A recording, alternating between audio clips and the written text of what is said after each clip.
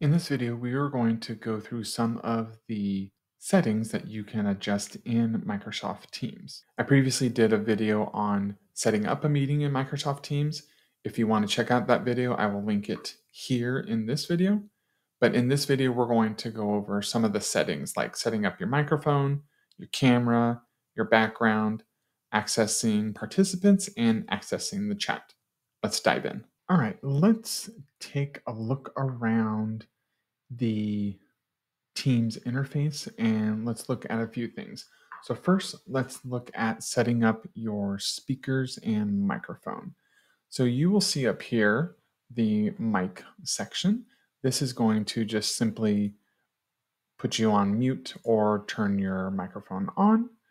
To set the microphone that you would like, you're going to go to More, and then we're going to go to Settings, and then we're going to go to Device Settings. And here you will see that you have your device settings here. So here's my audio settings. So I can set what I want my speaker to be. I can set what I want my microphone to be.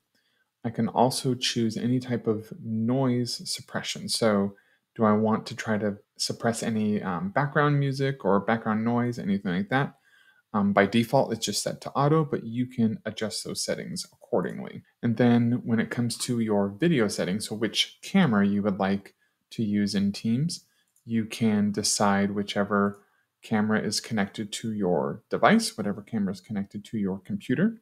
And then also you can decide if you want your image to be mirrored or not when you are using Microsoft Teams. Now let's take a look at different backgrounds that we can choose in Microsoft Teams. So if I go to the More Actions section, and if I choose Background Effects, I can choose what type of background I would like to have behind me when I'm in a Microsoft Teams meeting.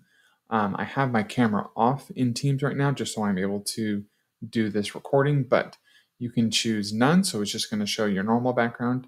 You can have a blurred background, or you can choose from one of these um, backgrounds that Microsoft provides as well. And then you can also preview what that is going to look like before actually applying that setting, or you can click apply and turn on the video since I have my video off here. Now, when you're in a Microsoft Teams meeting and you want to view the participants who are in the meeting, you're going to go to the people section. And if I click on people, then it's going to show me who is in this meeting and the participants that are here. So if there are people in the meeting, it's going to show it here. If there are people in the lobby, people waiting to join the meeting, it's going to show them in here as well. And now if I'm wanting to access the chat within my Teams meeting, I can come up here to chat and I will see the chat here. So here I can access any chats that have been happening in this meeting if there's any transcripts or any recordings, I can access those here as well. And when I'm in a chat, I can just simply type a message.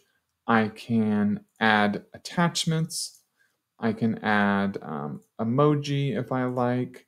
I can add GIFs and I can add extensions to this chat here. So I'm able to add um, more than just text to a chat in Microsoft Teams. So that was just a quick run through of some of the settings that you have access to in Microsoft Teams. We talked about setting up our microphone, setting up our speaker, looking at our video and what type of backgrounds we can choose, as well as accessing participants and chat.